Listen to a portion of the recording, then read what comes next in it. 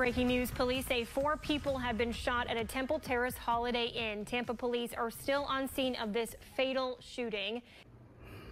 I'm not even finna say RIP because the stuff you rapping about, the stuff you rapping about, you know what I'm saying? It's sad, but it's gonna be some other rappers that get smoked. It's gonna be people that promote a certain lifestyle that get smoked all the time. So like, I don't understand why are we supposed to keep saying RIP, RIP, rest in peace. Did, For what?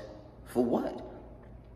Buddy rapping about killing, shooting, all kind of nonsense in his songs, and like we supposed to just act like that you he didn't have it coming. Like a lot of these people don't have it coming.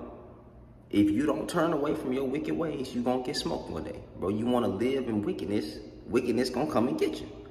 That's the life that he chose, and he knew that. But my thing is like, why is you putting your stuff all on the internet when you a celebrity, quote unquote, because he wasn't a big celebrity, but still, when you have some type of influence and some type of and some type of fame, and you promoting a certain type of lifestyle, right? It's not like you a Christian rapper.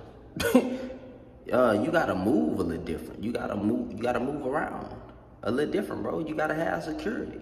You can't be just putting everything out on the internet and, and posting where you at, trying to act hard, even though you may you may be a tough guy. But my goodness, fam, the whole situation was just dumb. The whole situation was just dumb. So I know it's gonna people people say, "Oh, he was young. You 26 years old," but that's the life that he chose, and that's what he got. That's the life he chose, bro. I don't really feel sorry for, for dudes who move a certain way and act a certain way they get got. That's not, I'm not on it. I'm sorry. It is what it is. But you know, hopefully his family uh, recovers. Hope, hopefully, you know, whoever was part of his life that they go through their grieving period and, and, and that this if they live in the way he was living, hopefully that's a wake up call for them to get out their lifestyle, to stop promoting death, destruction, and chaos and, uh, and, and live righteously. Live, live a, a wise life, right? Anyway, man, y'all have a good day. Y'all stay safe out there. The, another person bites the dust. I don't know what to tell you.